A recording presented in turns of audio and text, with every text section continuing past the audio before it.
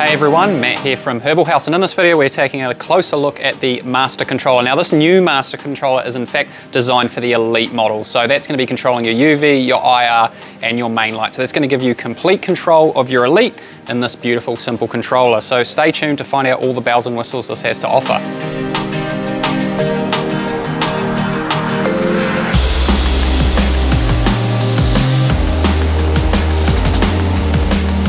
Okay guys, so I've already unboxed it. I'm just gonna run through what you get. And of course you're gonna get the display here, the controller. There's a power cable coming out the end, which is just gonna go into your extension lead or what have you, powering the controller up. The next one along is the zero to 10 volt. So that's gonna include this communication cable, which I've just run across into here and I've just plugged into the, wait for that to focus, the input of the LED there so you can see. So that's now connected to the LED. And then the next one along this little plug here is a temperature and humidity sensor um, to give us some values on the controller. So now that we've covered uh, what's actually included with the controller, I'll just run you through some of those features. So before we get completely started to actually programming this controller, there's something you need to make sure of. And if you go over here to your LED, you're going to want to set all of these dials, let me just swing that around, to EXT on all dimmers. So the EXT means external control, and that is going to allow the communications to run through this cable and the light be operated through this controller.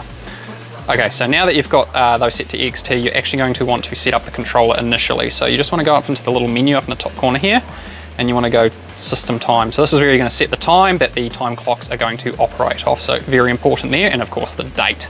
We've got temperature uh, units, so Celsius, Fahrenheit, brightness of the display, some other settings, type box, and the screen lock. So you're not going to worry about any of those realistically. Now, on the front display here, what you're going to see, so if I can get this to stop shaking, you have got a temperature value and a humidity value, which is giving us a VPD reading. So don't stress too much about that. That's just taking parameters off the sensor here and generating a value for you to keep an eye on.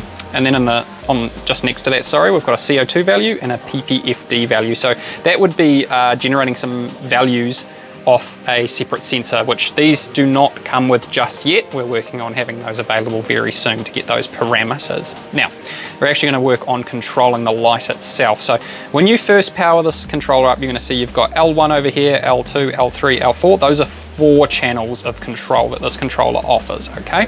Now, what you'll notice is you've only got three channels of control on your light, no problem at all, okay? One of those just isn't gonna be used. Now, we've already been playing around with this controller so you can see what it looks like, but we'll go step by step. So L1, that's gonna be your main light. So if you click on that, it's just going to bring up this box here for adjustments. Now, it's displaying two spectrums for you to choose from. Don't stress about that because no matter which one you pick, it actually makes no difference in this particular case. Those lights are preset for their fixture on the main light. No problem at all. Just here we have a off and an on. So you got manual control just to flick it on or off. And we've got a timer and we've got auto or manual. So setting it to auto means that this uh, light selection channel is going to run off the timer. So it's just connected here. Now I'll just quickly cover the timer because it's absolutely wonderful. Now, having a look here, we've got actually one, two, and three settings for the operating time. So you can actually have three different uh, run schedules per day. And of course you've got the off time over here, that's the on time on the left, and a percentage value for the dimmer. So you can just hit those tick boxes if you'd like to turn those on. And just below that, we've got cycle mode. So you can have it so the light cycles on for X amount of minutes and off for X amount of minutes. So it's really quite nice to be able to control it in three different sections. As far as a timer goes, that is. Um, and we've got sunrise sunset. So when you enable that, you'd hit activate and you've got a ramp in and a range. So when you set it up and you hit the setup time to 10 minutes, that means it's gonna take 10 minutes to get to your set value. So let's say you got the light at 100%, when the starting value is 12%, it's gonna start at 12% and within 10 minutes, it's gonna get to 100%. So really good to know if you wanted to program your sunrise and sunset per channel. Now, Next icon along is this one here. So this is a temperature, uh, essentially a safety. So with that disabled, it's got a range and an auto dim and a shutdown target. So you can program those values that should the temperature sensor, this one just here, reach said set value, your light will start to dim down to help remove some temperature from the room. And if it keeps getting hotter, it will hit the auto shutdown and completely shut off for you. So just keep that in mind. Not many people are going to use it, I don't believe, but it's good to know that it is there.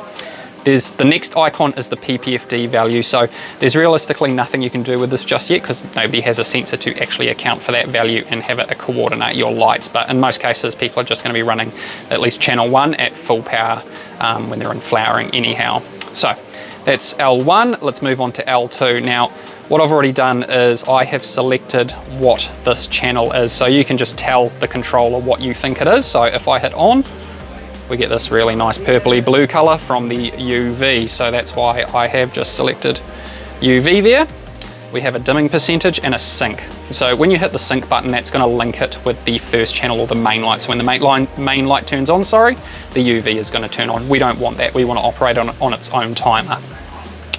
This is already set to auto on the time clock and you would set the time clock value for how long you would like the UV to run. So in most cases, we recommend running the UV for about four hours in the middle of the light cycle, but with so many customizable options now, you can choose how you would like to cycle that and at different intensities to help get the most from you and your plants. So really nice feature to see how comprehensive you can tune this.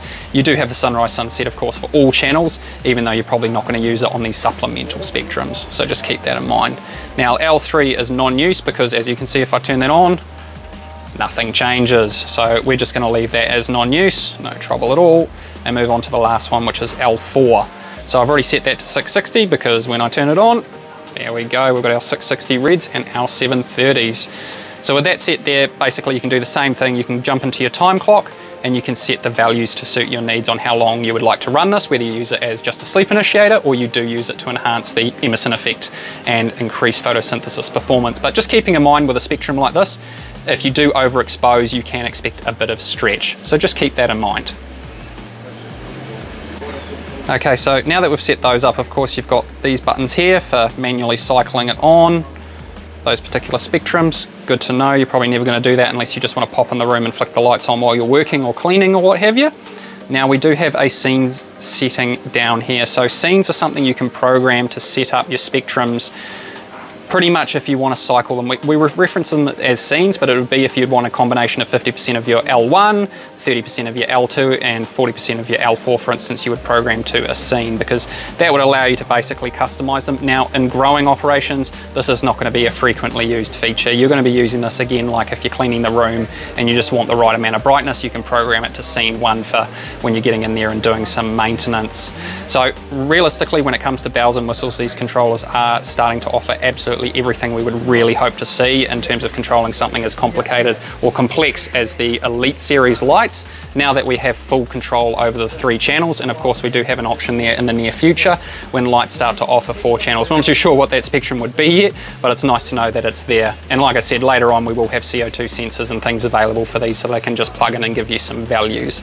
So really nice controller and we really think they're going to do you well. Now one final thing to mention so of course we've got this connected to just one light here as you can see on the input but we do have an output port. So just keeping in mind that that will allow you to daisy chain from there using a communication cable and to the next light. So as easy as that to link up multiple of these lights and control them off a single controller.